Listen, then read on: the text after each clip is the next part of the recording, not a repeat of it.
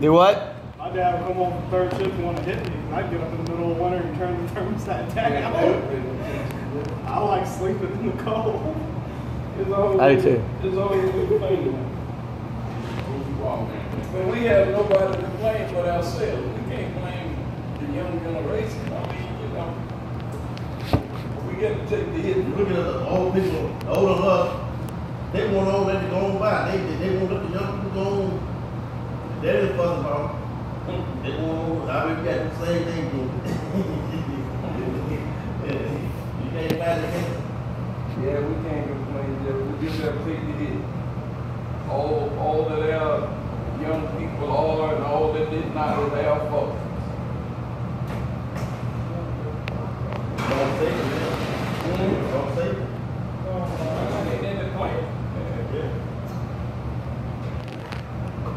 people getting hurt back in the day here. I mean, people, people used to drink and everything else.